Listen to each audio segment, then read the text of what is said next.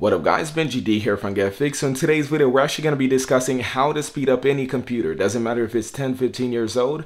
We're actually going to be talking about why it tends to slow down as it ages or as your computer starts getting backed up and we're gonna give you a solution for that. You could pretty much make your computer up to 50% faster with this simple trick. We're gonna be talking about the problem and solution. The actual issue is not that your computer's getting backed up to a point where it can't handle all the information, so therefore it starts slowing down and get sluggish. That does happen in the process, but here's what the actual problem is.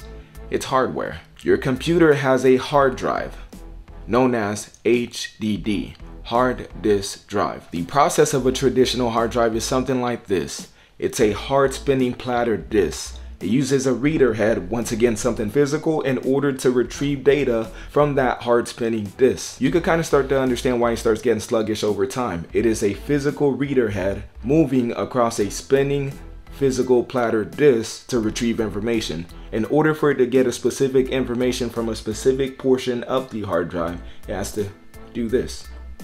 Now, as your hard drive starts to get more and more backed up, guess what? It has to go into specific points of the hard drive in order to retrieve the information. Now, when it does that, because everything is mechanical and physical, it takes time, right? Sluggish, slow. Now that, my friend, is your issue.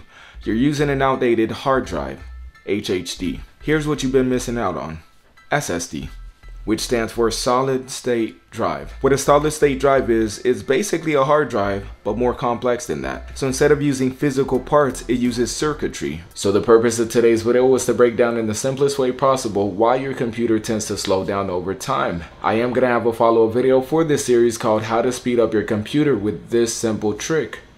All linked down in the video description below.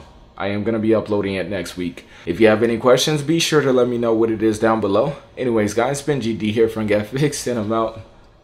Peace.